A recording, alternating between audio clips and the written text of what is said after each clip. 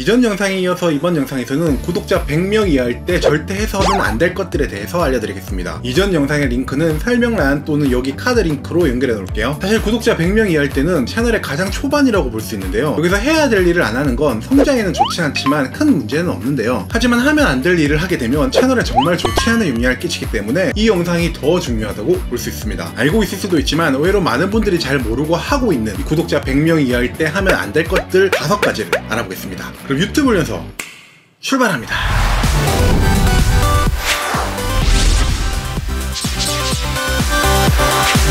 네, 안녕하세요. 유튜브 연서장 블레이즈입니다. 채널 성장 초반에는 하면 안 될 것들이 해야 될 것들보다 생각보다 많습니다. 오늘은 거기서 가장 작은 부분, 그리고 시작한 지 얼마 안 됐을 때 하면 안 되는 일에 대해 채널 성장의 방해 요소뿐만 아니라 마음가짐에도 문제가 되는 것들까지 포함해서 알아보겠습니다. 아무 영상이나 올리지 않기.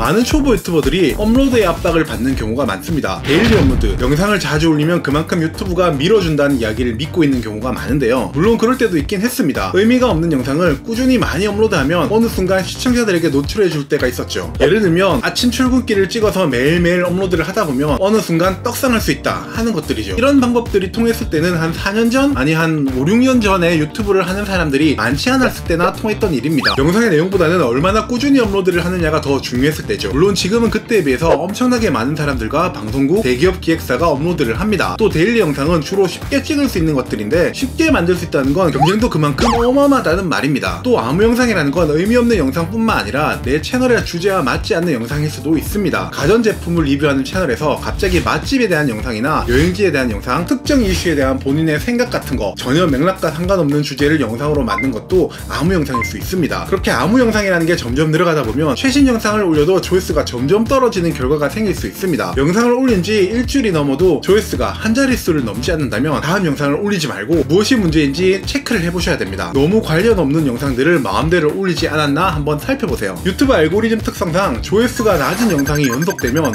더욱 노출도를 줄이게 됩니다. 이렇게 아무 영상이나 막 올리다 보면 결국에 내 채널에 어떤 영상을 올려도 조회수가 안 나오게 되고 결국 채널이 망하게 되는 가장 나쁜 결과를 가져오게 되니까요.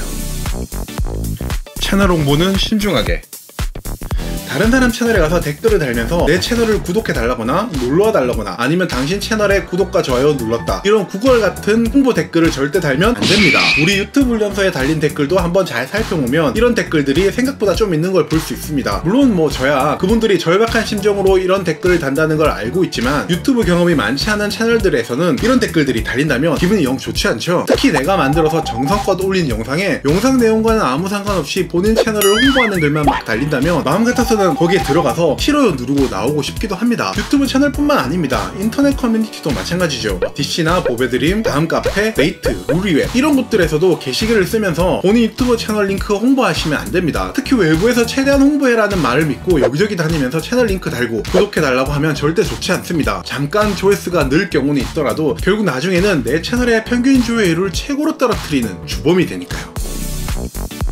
제목에는 필요한 내용만 영상의 제목은 생각보다 중요합니다. 검색 키워드로 걸리기도 하고 사람들이 제목을 보고 영상의 내용을 예상하기도 하죠. 썸네일의 내용이 아무리 어그로를 끌어도 제목만 제대로 써있다면 시청자가 어느 정도 납득을 한다고도 합니다. 이런 중요한 제목, 그것도 검색의 가장 중요한 부분을 담당하는 제일 앞문장에 이상한 글을 쓰시는 분들이 생각보다 많습니다. 특히 초보 유튜버 분들, 구독자 100명 이하인 분들에게서 많이 보이죠. 대표적으로 본인 채널이나 별명 같은 걸 대괄호를 쳐서 다는 경우가 있고 영상의 장르를 표기해 넣는 경우도 많죠. 예를 들면 채널명이 노을이고 영상의 주제가 제가 브이로그일 때는 노을 브이로그 막 이런 식으로 쓴다든지 하는 거죠. 그중 가장 좋지 않은 건 영상의 제일 앞에 샵1, EP1, 1부, 뭐 001 이렇게 모든 영상 제목 맨 앞에 숫자를 쓰시는 분들입니다. 대체 왜 그러시는지 모르겠는데 영상의 번호를 쓰는 경우는 시리즈물로 기획한 영상일 경우에 써야 됩니다. 그것도 제목 맨 앞에 numbering 하지 않고 제목 거의 끝단에 표기하죠. 대형 유튜브 채널에서 이렇게 영상마다 numbering 하는 곳은 거의 없습니다. 만약 있다면 영상을 자주 올리지 않는 채널이거나 한편에 많은 제작비가 들어가는 영상 시리즈 번째로 올리는 곳들이겠죠. 특히 제목에 샵1 이런 식으로 샵을 붙이는 경우에는 해시태그 검색어랑 혼동도 줄 수 있습니다. 시청자들 입장에서도 numbering이 붙은 영상은 기본적으로 연속적인 영상이라고 생각해서 쉽게 시청하려고도 하지 않습니다. 여러분이 시청자 입장에서 그냥 캠핑지의 일몰 스케치라고 붙은 제목과 EP23 캠핑지의 일몰 스케치 이렇게 붙은 영상 중에 어떤 걸 볼까요? 왠지 23이 붙은 영상은 앞에 영상도 봐야 되나? 하는 생각도 들겠죠. 그리고 해외 노출을 하고 싶어서 일일이 제목을 번역해서 뒤에 다시는 분들도 있는데 있는데 이것도 크게 효과는 없습니다. 제목 뒤에 번역된 언어를 넣는 건 이미 그 나라에 노출이 자주 되고 있는 경우에 해야 됩니다. 이 부분도 할 이야기가 많으니까 다음에 해외 노출하는 방법에 대한 영상으로 한 번 더 알려드리겠습니다.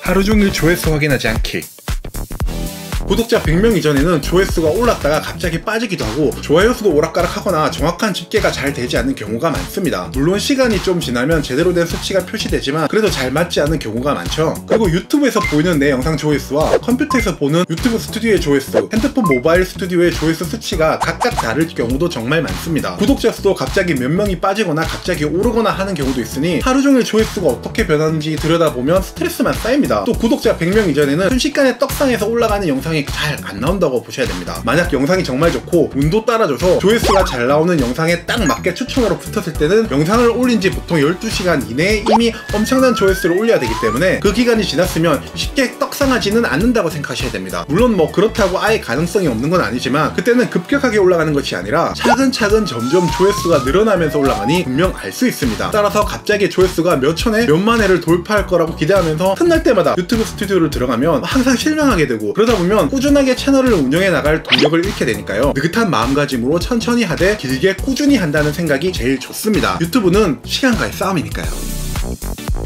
영상 길이는 가능한 짧게 어, 구독자 100명 이전에는 특히 많이 하는 실수가 영상을 찍은 그대로 전부 다 올리는 겁니다. 지루한 부분을 잘 잘라내지 못하고 누군가는 보겠지 하는 마음으로 다 올리는 거죠. 그래서 구독자 100명도 안 되는데 영상은 10분, 15분, 20분 이런 데도 정말 많습니다. 구독자 100명 이하일 때는 무조건 2분에서 4분 정도가 제일 좋습니다. 길게 만들 여력 있으면 차라리 영상 개수를 더 늘리세요. 그런데 그렇다고 해서 또 너무 줄이면 안 됩니다. 유튜브 숏에 걸맞는 1분짜리 영상 같은 거죠. 특히 게임 관련 그 중에서도 리그 오브 레전드 게임 채널 하시는 분들이 이러는 경우 가 정말 많은데 굳이 그 게임뿐만 아니더라도 본인이 잘한 장면만 1분 조금 넘게 끊어서 여러 개 연속으로 올리고 하시는 분들도 되게 많습니다. 그렇게 하는 게 아예 나쁘다는 말이 아니라 일단 영상 하나를 올리고 어느 정도 조회수를 기록한 다음 다음 영상을 올려야 됩니다. 조회수가 1, 2 정도 나오는데 또 다른 영상을 올려서 조회수가 1, 다음 영상 또 올려서 조회수가 0 이런 식으로 업로드에 맞추면 안 된다는 얘기죠. 스스로 최선을 다해서 잘 만들었다는 영상을 최대한 짧게 올리라는 얘기입니다. 물론 이 영상 길이를 조절하는 게 생각보다 쉽지는 않습니다. 더 넣고 싶은 내용이 너무 많거나 아니면 너무 없거나 둘 중 하나일 경우가 제일 많으니까요. 영상의 내용이 너무 없다면 여러 개를 합쳐서 하나로 만들고 너무 길다면 전부 잘라내고 그래도 남는다면 시리즈로 만드는 게 제일 좋습니다. You are watching YouTube Training Center now. 자, 구독자 100명이 힘들다는 건 앞선 영상에서도 말씀드렸습니다. 해야 될 것들은 최단 해놓고 하면 안 될 것들만 하지 않는다면 여러분은 채널 성장의 지름길에 들어선 것과 같습니다. 저는 예전에 그걸 몰라서 정말 멀리 돌아갔으니까요. 우리 훈련소 채널에서는 여러분께서 항상 영상 잘 만드는 거 하나만 생각하고 가실 수 있도록 여러 유튜브 운영 방법에 대한 조언과 꿀팁들을 앞으로도 계속 하나씩 알려드리겠습니다. 영상이 좋으셨으면 구독과 좋아요, 알림 설정도 부탁드립니다. 그럼 화이팅!